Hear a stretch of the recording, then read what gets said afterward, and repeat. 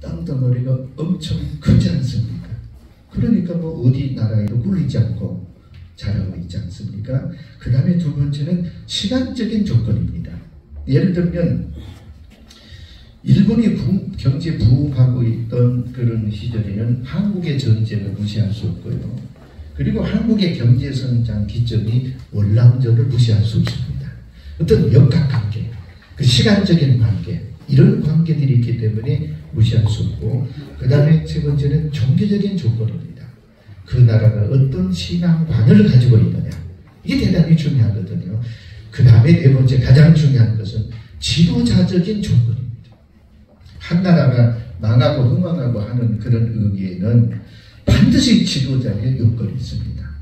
자 보세요. 우크라이나를 이렇게 망치고 있는 것은 한 나라의 지도자의 생각이 잘못되기 때문에 이런 일이 있지 않습니까? 전쟁의 요인에는 반드시 그 나라의 지도자 한 사람. 저는 정치는 잘 모르지만 우리나라가 왜 이렇게 될까? 왜 이렇게 될까? 한 사람의 지도자. 이게 참 중요하다고 생각해요. 그래서 오늘 우리 세 분은 오늘 말씀을 꼭 기억하시면 좋겠다. 왜 그러느냐? 한 여인 때문에 지도자 한 사람 때문에 유대인들을 살리는 역할. 한나라 한시에 발살 정책을 쓰고 죽이려고 했는데 이 한 여인이 죽으면 죽으리라. 이런 신앙.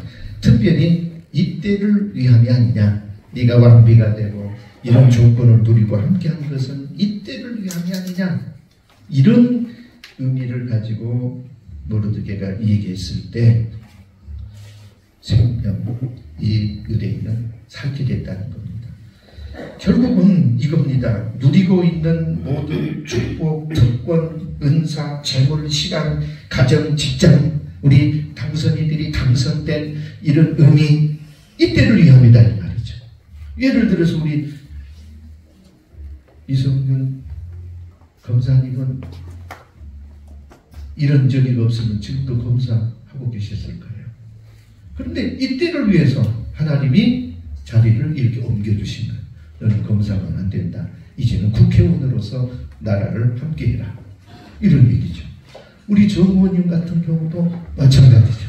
그동안에 이제 뭐 뒤에 이사를 보여 있다가 이때 하나님이 부르셔서 컴백하셔서 다시